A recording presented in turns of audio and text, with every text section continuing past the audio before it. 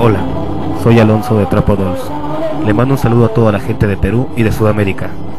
Los invito al Cadáver Fest, este 6 y 7 de abril, por una Latinoamérica oscura. Nos vemos.